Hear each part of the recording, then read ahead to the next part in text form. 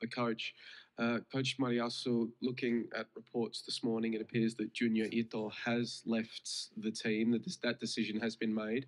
Why was that decision made, and how will this affect the rest of the playing group throughout the tournament? そうですね、あのできれば、えー、伊藤選手、え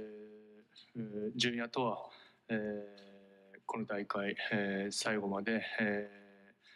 戦い、えーみんなで優勝を目指して、えー、戦いたい、えー、という気持ちは、えー、持っておりました。えー、その中で、えー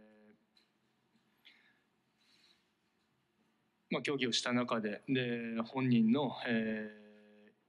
ー、意思もあり、えー、離脱という、えー、判断を、えー、JFA が、あのー、したところ、えー、同意して、えー明日の試合に、えー、あ明日の試合、えー、には、えー、彼は、えー、我々と、えー、共に戦わず離脱ということに、えー、なりました。でチームの影響ですけど、えー、もちろんあのチームのこれまでの、えー、勝利戦いに貢献してくれた選手なので、えー、